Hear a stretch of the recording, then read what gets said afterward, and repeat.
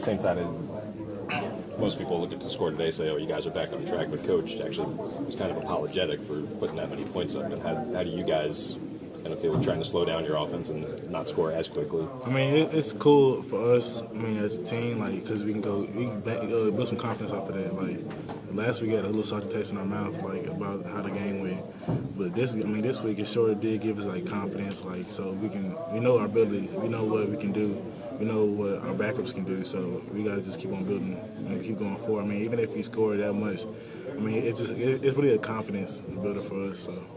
Especially with a lot of young guys, how oh, yeah, exactly. to get them in there for almost a whole half in some cases. Yeah, exactly. And they had some uh, receivers come step up, whatever. Jalen Austin got a touchdown, and a few other walk-ons got in. You know what I'm saying? It's, it's got in and got their dream out there just playing and stuff. So it's pretty cool feel good to get that first uh, vertical under the belt and that first long touchdown under the belt? Oh yeah, I was nervous. I mean, the ball was just floating there like, oh snap, I gotta get this ball. So, I mean, it, it just felt like it just felt like I mean, practice a little bit too. I was nervous, but I just felt like I had to make my play. I mean, make a play whenever the numbers called. So, I mean, the ball was in the air, and I had to go catch it. So.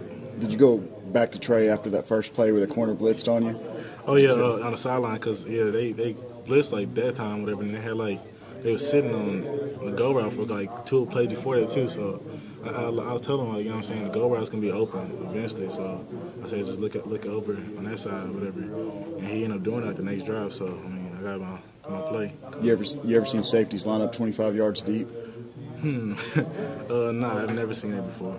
So it was kind of different. I mean, it had the cornerback running cover two. He was pressed up, and then had the safety playing way deep over the top. So it was kind of weird, but it was it was a different experience.